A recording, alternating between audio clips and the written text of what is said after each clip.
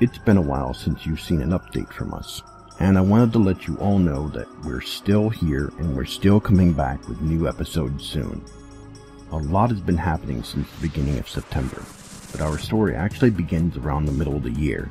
Me, my roommate and co-host William, and a friend of ours who lived across the street were planning to get a place together. The idea was to buy a double wide trailer and rent a lot here in the trailer park where we live. Well, that idea fell flat, and we let the idea linger in limbo for a while. Around the beginning of September, we all decided to go out and eat at the Golden Corral, and along the way we stopped at the trailer park office to drop off our rent.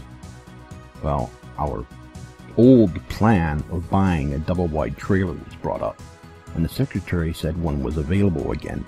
This time, we were at the top of the waiting list because everyone else was disqualified for one reason or another. To make the long story short, we bought the place. We paid it off completely. All we're paying now is the lot rent. What's been taking so long is getting our friend moved. He's a hoarder. Now, a few years ago, we moved him and pared his pile down some, but it was still pretty big. We spent more than half of the month of September moving his pile into storage, which gave me and William just two weeks to break down our trailer and get it ready to move. This means we didn't have time to organize anything so we could get the new house set up quickly.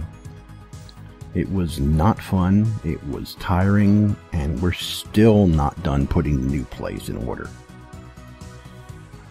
We only had our gigabit ethernet up and running for the past two weeks, and we've been here since the 1st of October.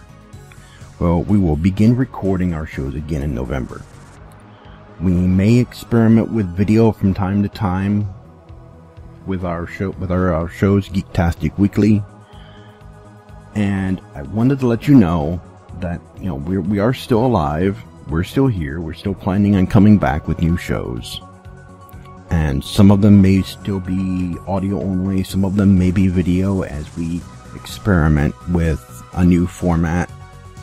Also, we're looking into shortening the programs so that they're not so long. People said that they're very long and that we, we do tend to ramble a lot, but that was the nature of the show's format. But we're going to be working on refining things. We're still new at this, so please be patient, and we'll see you next time.